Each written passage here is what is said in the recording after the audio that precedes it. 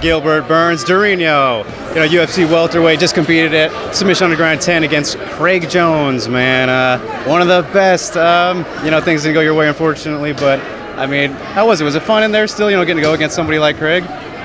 Um, not fun because it couldn't get, you know, the way I was planning on going. I thought I'd be able to escape from his attacks and start step by step to impose my, my rhythm, you know, my attacks. But end up that I get caught on the beginning, but it is what it is. I think it's a, it's a learning process. I'm back. Uh, as soon as I'm back home, I'm gonna drill a lot of those escapes, you know, get sharp, that little things. I think every little thing matter, you know, every little detail, every little lesson, and I'm taking that, uh, taking that home and, and make sure I get better on that. Yeah, of course, man. And is, is it kind of crazy though to think that you went from going against Kazushi Sakuraba, right, like one of your idols, like a week ago or whatever, to then Craig Jones? I mean, man, like what a week in grappling for you, right? Yeah. no, I'm taking on those legends, you know, and uh, it's, it's good, you know. Last week was perfect. I fought not just Sakuraba, but Yves Edwards, Jake Shields. Mm-hmm, this yeah. week, Craig Jones. And lineup, just having fun, you know. It's not even like for sure I want to win, but it's not like that that pressure, you know. It, I mean, I hate to lose still, but the pressure is different to lose here than to lose on the UFC. You know, here I'm just I'm just trying to get better. You know, get my reading. If I made a mistake, I go back home, I fix. It's yeah, it, it's. I feel very blessed to be able to do that on that high level, and I think it, that just adds to my game. I'm just getting better. Can't argue with that. And you know, having fought all, grappled against all these guys now, is there anybody that you kind of want to grapple against that you haven't yet? Because you've won against so many people now. yes, I think I grapple against everybody. Just only guys that I really got caught was the specialist was Garry Tonon mm. two years ago, and was uh, uh, Craig Jones now. I still want those back, you know. I still want to get better on that. Hopefully, face Craig Jones on the real soon. But yeah, the, the, the goal now is to get better, fix those mistakes, and and get after these guys again. Of course. All right, man. As for the UFC, though, you've been really just wanting to fight anybody and anybody who's willing right now. And you teased some news a couple days ago, man. What is there anything you can tell us yet? What's going on with the next fight? Is it Demian Maia? I think I got him.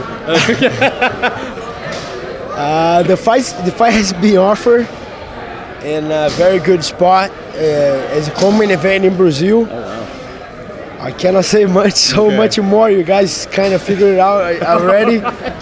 but I'm hoping, you know, my opponent gets the fight because, yeah, I think it will change my career. It will be a great show for the fans.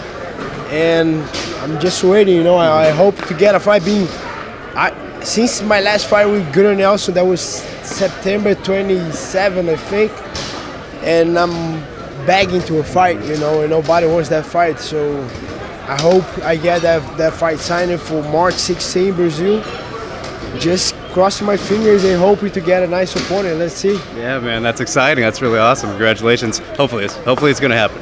Um, but I mean, you've been so good at welterweight since going back up now. You know, with the Gunnar Nelson win, like you said, and then beating Kunchenko, the first guy to beat him. Uh, do you wish that you went back to welterweight sooner, or is it just like how things worked out? You know.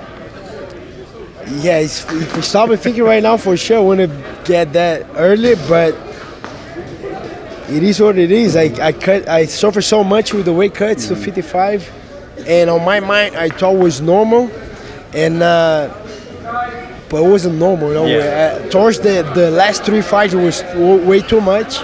I couldn't take it no more. So me and my wife take the decision to go up. I think it was the best decision. Now I'm I'm I'm healthier. I'm happier. Like Yesterday we did the weigh-ins here with the shoes, with the with the tracksuit everything. I weigh in 198 with the phone, wallet, everything. Like I'm relaxed now. I can make honest in a couple weeks, two three weeks. I'll be easy making 170, but 155. I think I, I, to be honest, I, am tough enough that I think I can make. I will need like freaking three miserable months to mm, make yeah. that. running every other day, but I still can make it, but gotta be so much wanna worth, you know. good, right? Yeah. Yeah, gotta be like McGregor fight to make me go 155. Yeah. Other, other than that, no, I'm staying at 170. Awesome. That's all right, Gilbert. Well, that's all I got for you, man. You know, best of luck in the future, and you know, enjoy Portland while you're I here. Will.